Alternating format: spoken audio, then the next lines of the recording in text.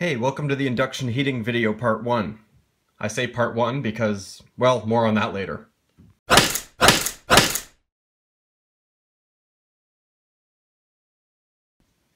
I got this induction heater on Amazon for like, I don't know, $30 or something. And uh, it came pretty quickly, and I knew it was going to be a lot of fun to play with because I've seen lots of videos on YouTube. And I was actually hoping to heat treat some steel with it. I got some pretty good use out of it. I managed to get it fired up. I heat treated some steel parts. It easily gets steel up to the temperature that you can quench it at to harden it. Um, 4140 and O1, for example. Uh, but uh, A2, it doesn't seem to quite get hot enough. Um, for something like 4140 and O1, uh, they're oil quench steels, and you want to heat them up until they're about cherry red. But uh, A2, you want to heat it up until it's like bright orange. Uh, that's about 1700 degrees Fahrenheit. Uh, and then you can just cool it down in atmosphere. There I was, heat treating some steel and minding my own business, and I heard this weird liquid bubbling sound. Uh, still don't know what it was. Um, but five minutes later, I started hearing some popping noises on uh, on the induction heater, and it turns out that these high frequency capacitors exploded. Crazy. Uh, what I think happened is um, the coil itself actually got too hot, and you can see the solder here is all melted. Just the fact that it was getting so hot made the capacitor expand and crack.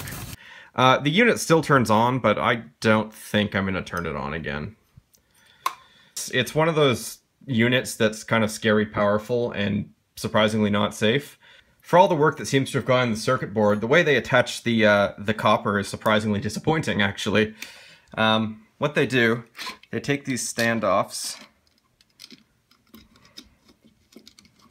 they screw them all together like this,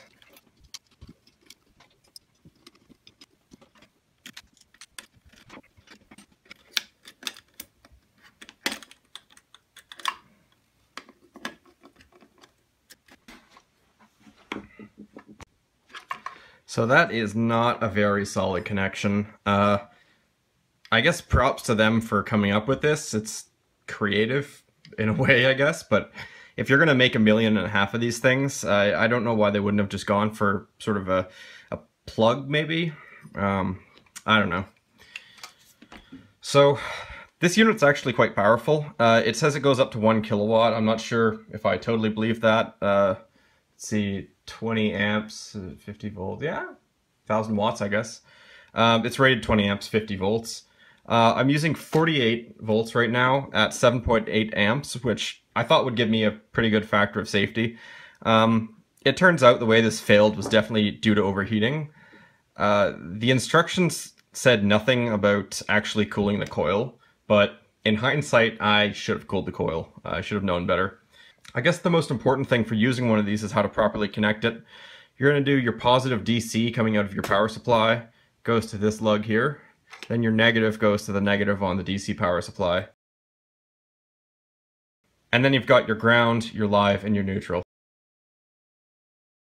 One interesting thing about induction heaters in general is uh, when they start up, they kind of need a kick to get the oscillation started.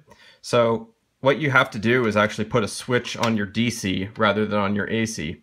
You sort of think instinctually it's safer to be able to turn off the power at the source, which normally makes sense, but if you turn on the power while this is completed, while the circuit's closed, this doesn't get enough of a kick to actually start oscillating.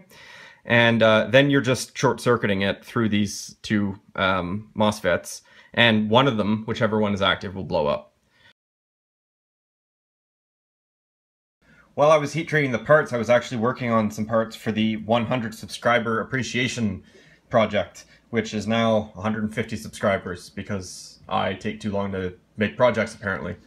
Um, and I actually tried to use this to uh, to heat color some of the steel parts.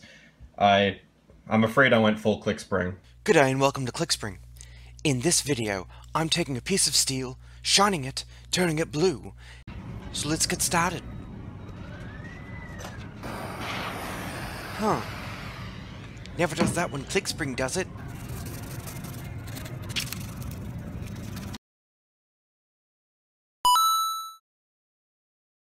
But anyways, I used a 48 volt power supply because it actually heats things up a lot faster This is because the higher the voltage, the faster the current can stabilize in the coil. But the current determines how hot it will get. Induction heaters work basically by creating a magnetic field inside this coil. It switches back and forth so much it creates what are called eddy currents, which are a source of inefficiency in most systems. And this you want the eddy current because the eddy current actually makes uh, conductive materials get very hot. So this could heat up a piece of steel, say this screwdriver, probably in a couple of seconds. So in summary, I got a cheap toy, I played with it a little while, and I broke it, just like every remote control helicopter you've ever had. But I've decided I'm going to order another one and I'm going to do it properly. When I get the new one, I'm planning on cooling the coils by pumping water through them. I actually just got my little DC pump in the mail the other day. What is this for? I also got this other pump from a store that shall remain nameless. All in all, I would suggest getting this induction heater for a home shop. It's actually quite useful. I would just also recommend that you don't cut any corners. You should take the time to get this cooled off properly. You should wire it correctly. You should put the switch in the right place. And you should also take some time to epoxy down some of these loose components. It's pretty bad. Well, that's all for this video. Please like and subscribe if you want to follow up with this project, or follow my tiny lathe build. I've also got some other projects coming up that I hope you'll be interested in. Cheers!